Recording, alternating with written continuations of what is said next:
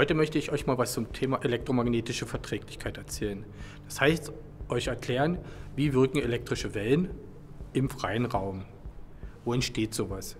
Ihr müsst euch vorstellen, wenn ihr ein elektrisches Gerät, das heißt euer Handy, euer Radio zu Hause einschaltet, dann werden elektrische Felder erzeugt. Das heißt, durch das Anlegen der Spannung bzw. durch das Einschalten wird ein Stromkreis geschlossen, ein Strom fließt und es entstehen magnetische Felder. Daher kommt der Begriff elektrische und magnetische Felder. Jetzt geht es darum, wenn diese elektrischen und magnetischen Felder entstehen, was passiert? Wie viel elektrische Feldstärke wird vom Gerät abgestrahlt und kann ein Gerät, was benachbart ist, gestört werden? Ihr müsst euch das so vorstellen. Ihr geht mit eurem Handy an einem Funkmast vorbei und euer Handy hat auf einmal keinen Empfang mehr, schaltet sich selber aus beziehungsweise das Display wird zerstört. Also ihr habt auf einmal einen ganz schwarzen Bildschirm.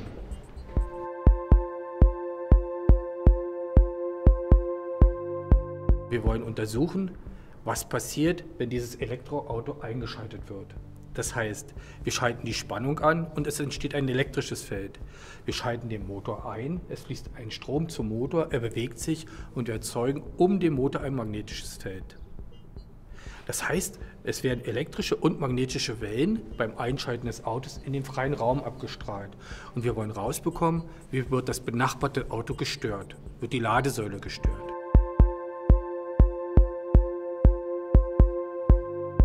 Wie kann man sich das vorstellen? Nehmt einen Stein und wirft es, werft diesen Stein ins Wasser. Und um diesen Stein, um den Einschlagswort, entsteht eine elektrische bzw. eine Wasserwelle die sich frei in dem See ausbreiten kann. Wir nutzen einen ähnlichen Effekt. Das heißt, wenn man den Stein ins Wasser wirft, entsteht die Welle und wir stellen eine Wand rein ins Wasser. Und die Welle wird zurückgeschoben, das heißt reflektiert.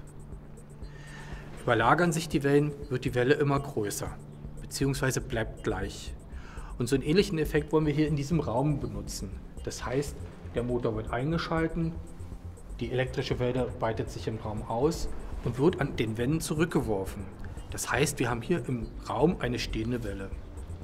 Um jetzt aber herauszubekommen, wie die Feldstärke im gesamten Raum ist, beziehungsweise um das Auto sich verteilt, können wir die Wände bewegen. Deswegen sind die Wände aus Stoff gemacht.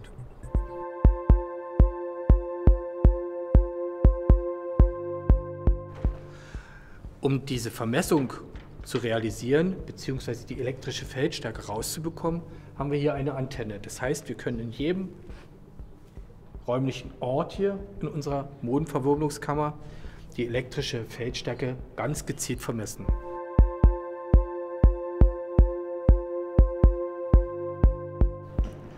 Wir können die Anlage auch umgekehrt benutzen. Das heißt, wenn wir Antenne umdrehen, in eine Ecke reinrichten oder auf eine Wand, dann können wir versuchen, mit Sendeanlagen eine elektrische Welle zu erzeugen und in den Raum reinzustrahlen. Das heißt, wir möchten rausbekommen, wie reagiert das Auto auf eine elektromagnetische Welle. Das heißt, wenn ein Nachbarauto auf das Auto einwirken würde. Und um die räumliche Verteilung besser zu gestalten, können wir dann wieder durch die Wände die elektrische Welle um unser Objekt herum, herumschieben. Das heißt, eine homogene Gleichverteilung gestalten.